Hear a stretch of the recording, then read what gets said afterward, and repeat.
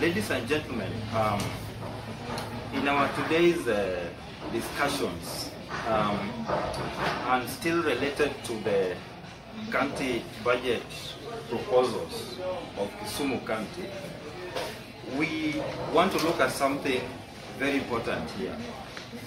Uh, I want us to talk about the role of the PMCs in uh, project implementation on- on the ground.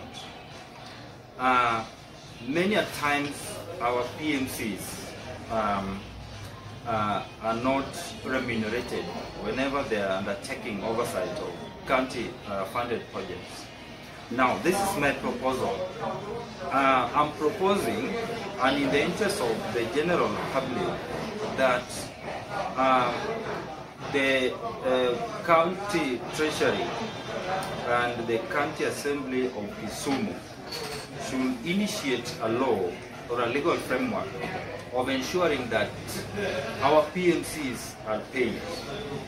PMCs should be paid from county funds because there's no point of Kisumu County allocating huge amounts of money into projects, but then PMCs are supposed to be uh, the eye of the public uh, in regard to implementing these projects, and they're not paid. So I'm proposing to the county assembly Kisumu, I'm proposing to the uh, county treasury, I'm proposing to the county government of Kisumu to look into how our project management committees can be paid.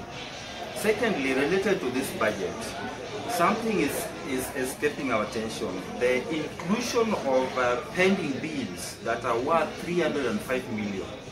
This is what we are asking the county government.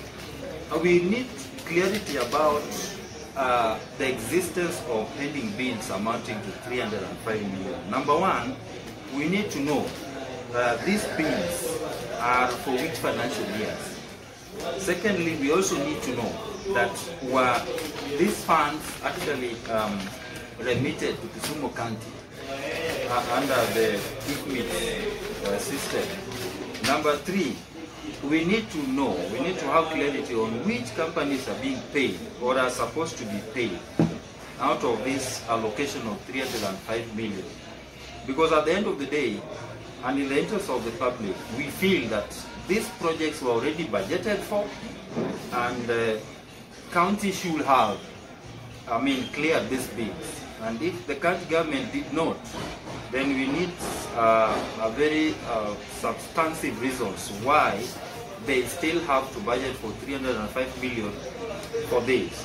Number three, as I talked this before, the utilization of uh, emergency fund by Kisumu County government.